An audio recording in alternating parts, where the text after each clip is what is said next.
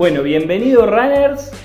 Miércoles seguimos a full a full. Hoy les voy a contar acerca de un dato que seguramente si tenés un reloj GPS Garmin te va a interesar. Vamos a estar hablando acerca de la grabación inteligente versus la grabación por segundo. ¿Está?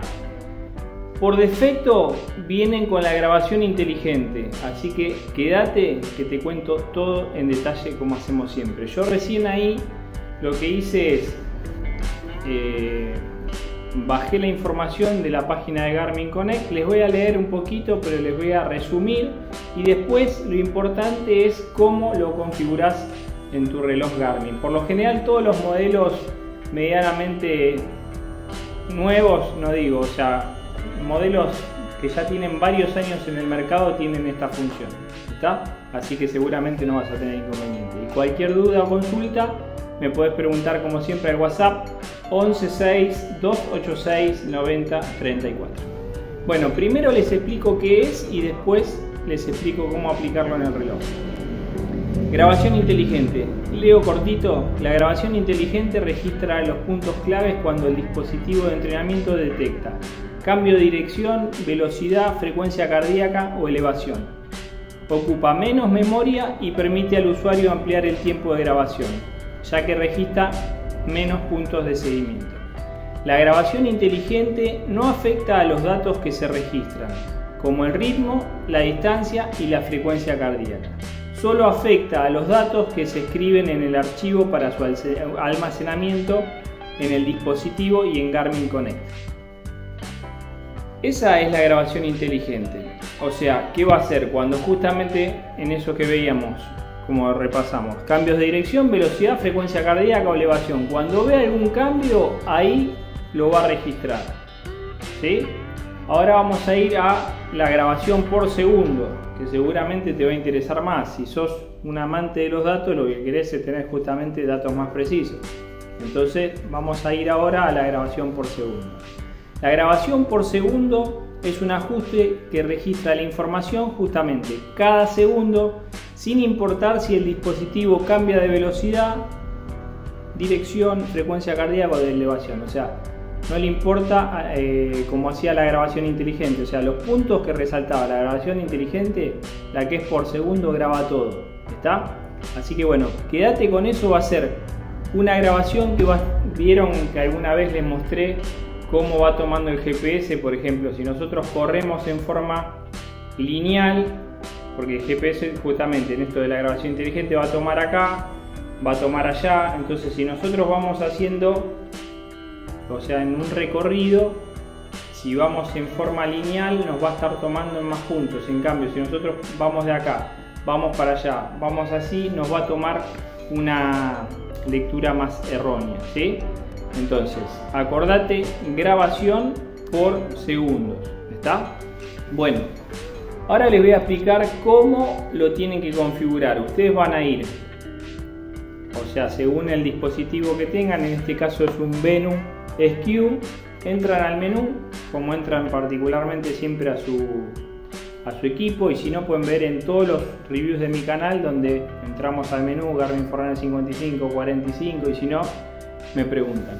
Aprovecho acá también para decirle que pueden seguirme en mis otras redes, ahí donde vamos publicando todos los días, en Universo Jim Zacarías en Instagram. Bueno, entramos al menú, vamos a ir a Sistema, ahora igual les voy a dejar un videito puntualmente, como les digo, con el, con el Venus Q, así lo ven en detalle. Y ahí vamos a ir a grabación de datos justamente está en inteligente. Así que siempre por defecto lo van a tener en esta forma de grabación. ¿Qué, va a pasar? Si va a ocupar más, o sea, más memoria, es algo lógico, más datos, más batería. Pero en realidad traen mucha batería, son, es muy pequeño la, la información.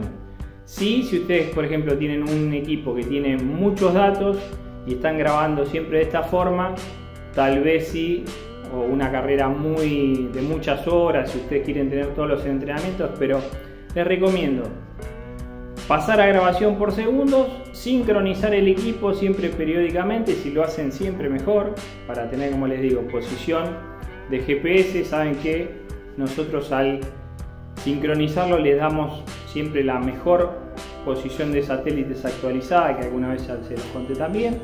Así que grabación por segundo. Bueno, eh, repasando vamos a ir al menú, vamos a ir a sistema, vamos a buscar grabación de datos, eh, grabación de datos está en inteligente y ahí lo ponemos por segundo, que acá ya lo puse por segundo. ¿Está? Ahí está. Bueno, espero que les haya gustado esta, este dato, me pareció muy importante, no lo sabía, o sea, lo escuché el otro día, lo busqué en Garmin y en realidad es así tal cual como estamos hablando. Con esto que se van a asegurar que el track sea mucho más preciso, toda la información, todo el recorrido esté grabado segundo a segundo. ¿Está? Bueno, espero que les haya gustado, que les haya servido. Si les gustó o si no conocían este dato, déjame en los comentarios. Y ya sabes, cualquier duda me hablas al WhatsApp de siempre, 116 286 9034. Para los que no me conocen, soy Zacarías Prada, profesor nacional de educación física, dedicado a la venta de relojes GPS de hace 20 años. Ahora también les cuento las novedades. Retomamos Garmin, todos los modelos. El que más vendemos es el Garmin 55. Esta semana se vendieron varios equipos en negro y en turquesa. Tenemos todos los colores. Pero cualquier modelo de la línea me preguntan y ellos ya saben, les cotizamos Trabajamos directo con Garmin, así que somos distribuidores oficiales. Me preguntan 265, 965, Fenix 7, toda la línea nueva y toda la línea que ustedes quieran. Y también eh, trabajamos también usados seleccionados. Eso sí, los probamos nosotros, los testeamos, siempre vemos que estén en las óptimas condiciones con un precio justamente que les va a servir. ¿Está? Bueno, nuevamente que tengan un lindo miércoles, como les digo siempre, a seguir entrenando a full a full y nos vemos seguramente en un próximo video. Espero que les sirva. Gracias.